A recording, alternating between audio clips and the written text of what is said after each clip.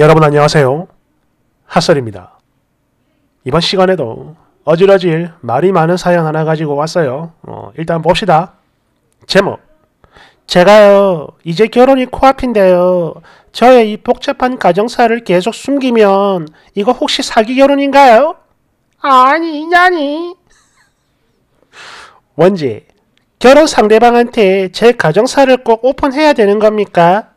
여러분 안녕하세요. 저는 어, 지금 현재 남친과 결혼을 앞두고 있는 사람이에요. 얼마 안 남았습니다. 그리고 제가 남들이 보기에는 되게 화목하고 사랑을 많이 받은 그러니까 굉장히 좋은 가정에서 자란 막내딸로 보이지만 아니 화목한 건 맞아요. 맞는데 사실은요 남들한테 절대 말하지 못할 저희 부모님과 관련해서 복잡한 사연이 있거든요. 그러니까 저를 신상아 때부터 지금까지 쭉 키워주신 부모님들 있잖아요. 엄밀히 따지면 이분들은 제 친부모님이 아니라 작은 할아버지, 작은 할머니세요.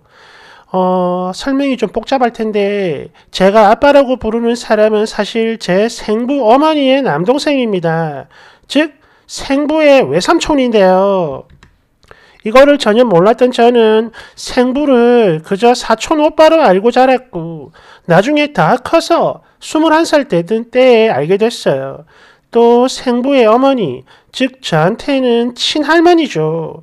어릴 때부터 쭉 고모로 알고 컸기 때문에 지금도 입이 안 떨어져서 그냥 고모라고 부르고 있어요. 뭐 대충 이렇고 제가 태어났던 당시 제 생부의 나이는 20살, 그리고 생모는 정확히 모르겠는데 더 어린 나이였다고 합니다. 또 당시 고모, 그 생부의 어머니네는 시골에서 살았는데요. 이때 저희 생모가 서울에 살다가 하도 사고를 많이 쳐가지고 부모님들 손에 끌려 반강제로 시골에 전학을 왔다가 여기서 저희 생부를 만나 또 사고 쳐서 저를 낳고 금방 다시 서울로 끌려 올라갔대요. 저를 시골 고모, 생부 어머니 집에 두고 떠난 뒤에 생부 쪽과는 연락이 뚝 완전히 끊겼고 사는 것도 정확히 몰라서 그 시절 찾을 방법이 없었다고 해요. 덕분에 저는 열 달 동안 저를 품고 낳은 사람의 얼굴도 모르고 목소리도 모르고 아니 그냥 아무것도 몰라요. 사는 것도 모르고요. 이후 신생아 때부터 지금의 부모님이 저를 키워주셨고요. 생부의 외삼촌 내외죠. 저랑 나이 차이가 많았지만 사랑을 워낙 듬뿍 주셔서 그냥 나는 늦둥이일 뿐이지 친부모가 아니다. 친자식이 아니다. 이러는 거 전혀 꿈에도 모르고 살았어요. 그리고 사실 이 일을 뭐 비교적 최근에 알게 된 거라서 써니가 20대 후반이랍니다. 저를 낳아준 생모에 대해 애틋한 감정 같은 건 전혀 없는데요.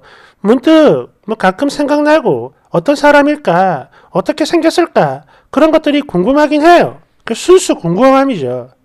아, 또 원래는 고모, 생부 어머니, 저희 할머니가 원래는 저를 거두려고 했는데 이때 고모네 집이 너무 힘들어서 저를 직접 거둘 여력이 도저히 없었대요. 잠깐 설명 좀 하고 가겠습니다. 즉 쓰니 할머니가 원래는 자식을 대신해서 거두려고 했던 건데 가난해서 그게 안 됐다는 거예요. 어. 하지만 이게 또 핏줄이라서 고아원 같은 곳엔 보낼 수가 없었는지 당신의 형제들, 즉 동생들 중에 그나마 직장이 번듯하고 경제적인 여유가 되는 남동생 부부, 현재 저희 엄마 아빠죠. 이분들에게 저를 부탁했고 그렇게 저를 맡게 된 거라고 들었어요. 저를 키워주신 부모님은 당시에 이미 첫째인 아들, 저희 오빠죠, 이제. 오빠가 이미 있는 상황이었지만 그냥 기쁜 마음으로 딸 하나 더 생겼다고 너무 좋았다. 이런 말씀만 하셨어요. 그때도 지금도 늘 그런 마음이었대요. 그래요. 제가 이런 분들 밑에서 자란 게 정말 큰 축복이자 다행이라는 생각도 들지만 때로는 이런 사정을 20년 넘게 숨겼던 집안 어른들 모두가 믿고 막 괘씸하게 느껴질 때도 종종 있거든요. 특히 이런 사실을 알고 그동안 그냥 사촌 오빠인 줄 알았던 생부한테는 왠지 모를 거북한 감정이 생겨서 벌써 몇 년 동안 집안 행사 등 정말 어쩔 수 없이 마주쳐야 하는 상황이 아니면 거의 안 보고 살아요. 그나마 다행인 건 아무도 저한테 그런 걸 강요하지 않는다는 거죠. 이러다 보니 뭐 당연히 제 10년지기 아니 20년지기 동네 친구들도 저의 이런 상황 아무도 모르고요. 이제 곧 남편이 될 저희 예비신랑도 몰라요. 벌써 3년 동안 만났는데 그래서 다른 제 비밀은 다 알고 있는 사람인데 진짜 이거 하나만큼은 죽어도 말을 못하겠더라고요. 그래도 순수하게 연애만 할 때는 이런 죄책감이 덜했는데 이젠 그걸 넘어 곧 가족이 될 남자니까 당연히 알리고 또 알아야 하는 거겠지라는 생각이 자꾸 들곤 있지만 이게 차마 입이 안 떨어져서요. 그냥 하루하루 몹쓸 죄책감만 가지고 삽니다. 아니 사실은요 몇 달 전이었죠. 우리 두 사람이 술을 마시다가 제 이야기가 아닌 척 자기야 오빠 나 이거 어디서 들었는데 이런 집도 있다고 하더라. 자기는 어떻게 생각해? 라며 반응을 한번 떠봤는데요. 이때 남친이 막 껄껄껄 웃으면서 야 그게 뭐야? 완전 콩가루구만! 깔깔깔깔 이렇게 말을 했던 게 자꾸 생각나가지고 더 이상 말을 못하겠더라고요.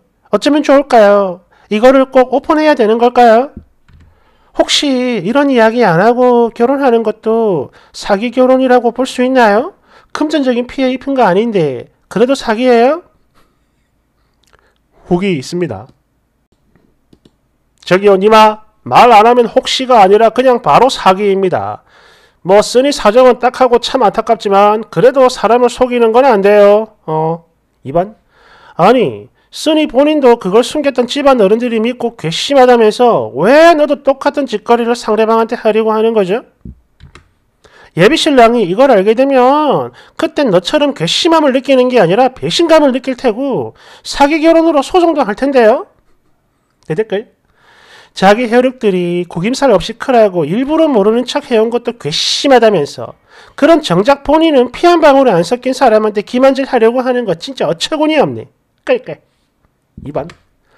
정상적인 가정에서 배웠으면 이런 생각조차도 안 해요. 그러니까 결혼은 가정사까지 보고 하라는 거야. 집단에 남들 눈에 사랑받고 자란 걸로 보인다 이런 소리 하지만 옆에서 같이 있다 보면 딱 티가 나거든. 3번.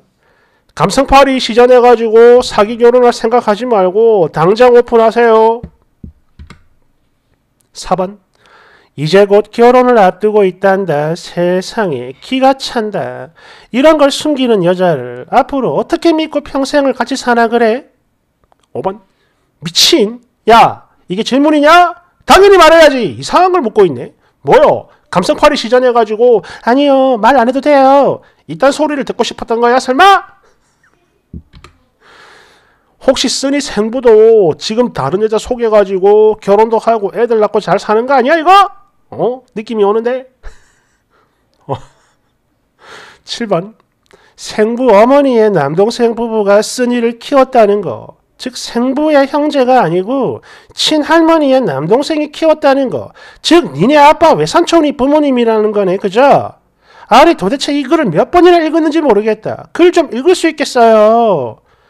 저도 힘들었습니다. 어, 촌수 오지게 복잡하고 읽는 건 더 그지 같네. 아무튼 이런 복잡한 가정사를 도대체 언제까지 숨길 생각입니까? 아니, 계속 숨길 수 있을 거라고 생각을 하는 거예요, 지금? 어른들이 뭐 20년 동안 묵고 살았으니까, 묵고 살았으니까, 써니도 결혼하고 대충 한 20년은 비밀로 대, 해도 될 줄 아는 거야, 뭐야? 어? 본인도 그 사람들 믿고 배신감 듣다면서, 써니 남편은, 어? 이건 남이라서 훨씬 더 할 텐데, 왜 그 생각을 못 하는 거야? 지금이라도 솔직히 말을 해요.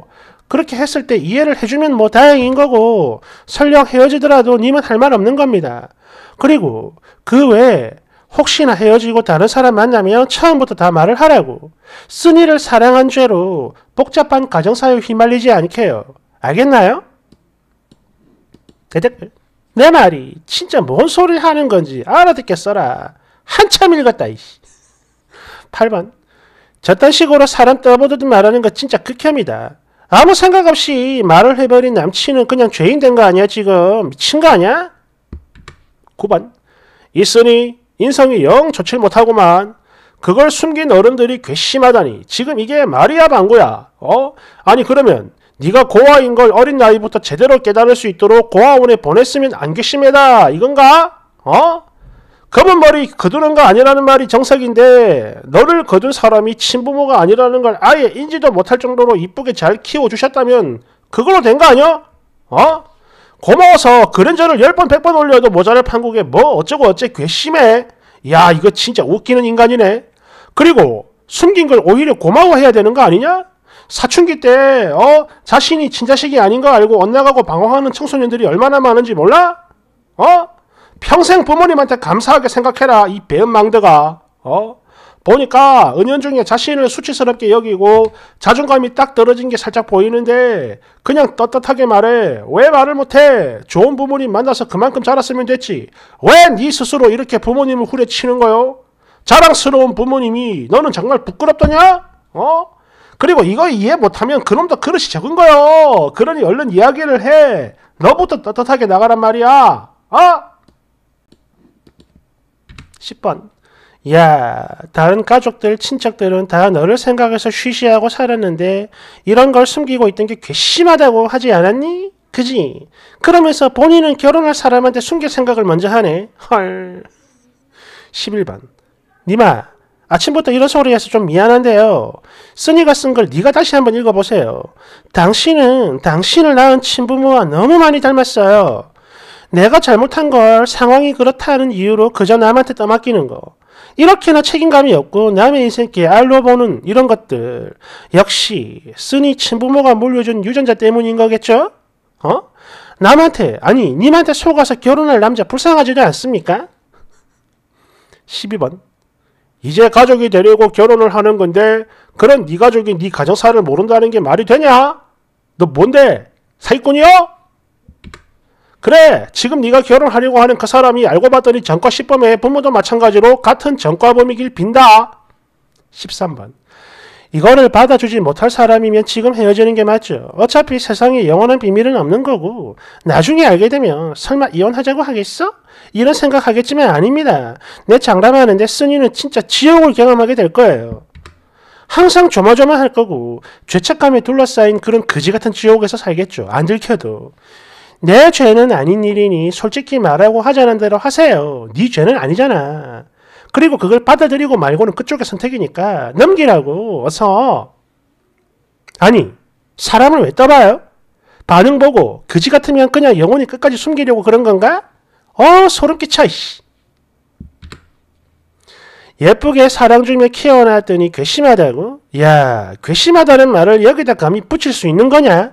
역시 머리 검은 짐승은 거두는 게 아닌가 보다. 나는 이것도 괘씸해. 이 배은망대가 어디 감히 말, 어? 할 말 못할 말 구분 못하고. 대댓글. 은혜를 똥으로 아는데 저거 엄마 유전자 어디 안 가는 것 같아요.